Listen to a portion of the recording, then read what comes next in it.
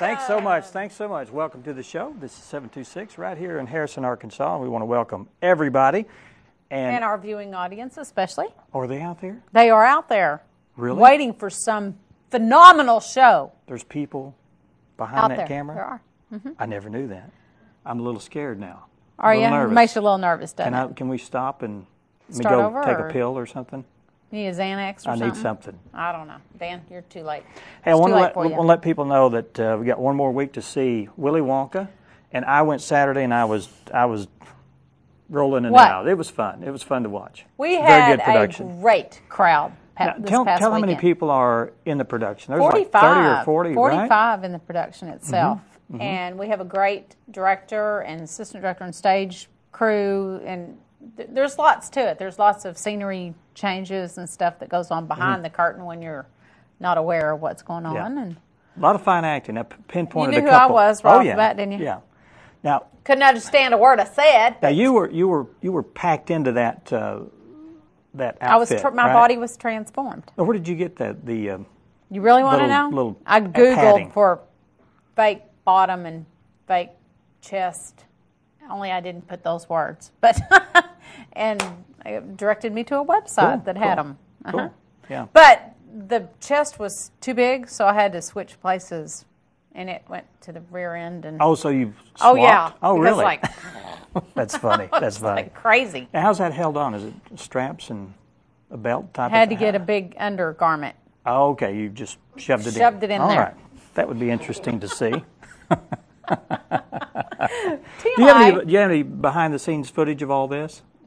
Putting no, in? you should see me getting dressed though. It's quite funny. humorous. Let me tell funny. you. I want to say that they're the a a lot of the kids in that production were just phenomenal. They I thought they were good.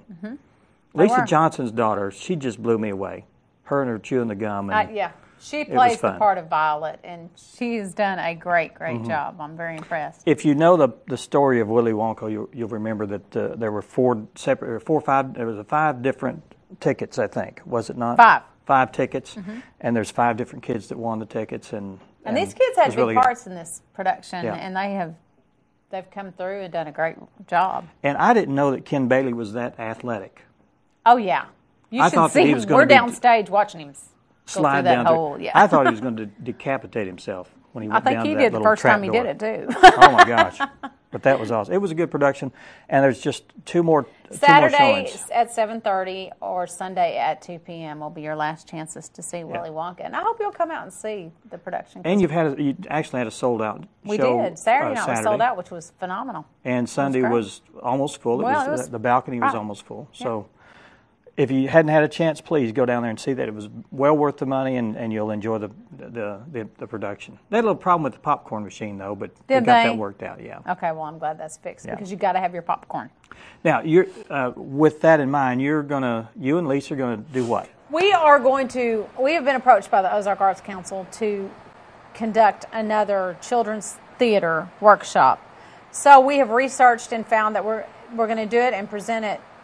I think it's December 11th and 12th, but it's a Snow White Christmas and it's based on Snow mm-hmm. White. And Lisa, of course, has a lot of experience with acting, and I just kind of I do the singing. Mm-hmm. So anyway, acting is not my forte, but but anyway, we're going to uh, teach the kids from the start about how to audition and mm-hmm. then how to act. And, and she's going to have some exercises set up and, and then take them through the production. And they will present the production at the end of the workshop. So it starts mid September and will culminate mm-hmm. Mm-hmm. in December, early December. So stay tuned for that. We're going to have audition forms available this weekend at Willy Wonka, but they'll also be available after that, and we'll get the information out to Okay. viewing audience and to anyone that's interested. We'll make sure you get a form, and it's for five to twelve year olds, boys or girls. And, and that's that's a real key to, to keep things moving along. To You keep, bet. To keep the excitement going. Well, I mean, it, you know, you start them young too, and they learn how to do this, and they're not so intimidated and not afraid to come and audition Yeah. for other plays. And we've got to start grooming them young,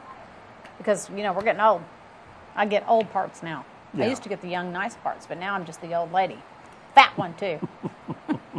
we do a good job of being the old fat lady. Thank you. It ain't over till the fat lady sings. That's funny. Anything else going on with you? No, but I was going to No. say too. Remember, August thirteenth is the reenactor will be at Right. the Lyric as well. Yeah, we had him on the show last guy. week. Right, And that's So- a one man show. Right. And And, you can go to the website and Fairly interesting. Okay. see other stuff that's going And on. you know, we do have Debbie George uh, Jones scheduled to be on the show, and she's not here right now, so I don't know if uh, she's going to pop not in sure. the last Right. minute. So, we hope that she will, but Yeah. the membership drive, she's going to talk about that if she's here. So All right. Okay. You Okay. want to take our first break? let's take. No, I want to go through our list of. Oh, we could do that first. All right. I think that we'll tell you who's going to be on the show. No, I'm just kidding. Tiffany Curtis is here with Arvest Bank to talk about the charity golf tournament coming up. And as we mentioned, Debbie Jones is supposed to be here. Randy Cooper's here with the PRCA, Professional Rodeo Cowboy Association, and talking about what's coming up with them. And then a group called the Springdale Rounders, which we have several women here that we're going to let them explain what the Springdale out. Rounders are, but they're they look great. they look great. So we're, got some unusual chaps on. You'll want to stick around for that. we're going to take our first break, and when we return, we will talk with Tiffany Curtis. Stay with us.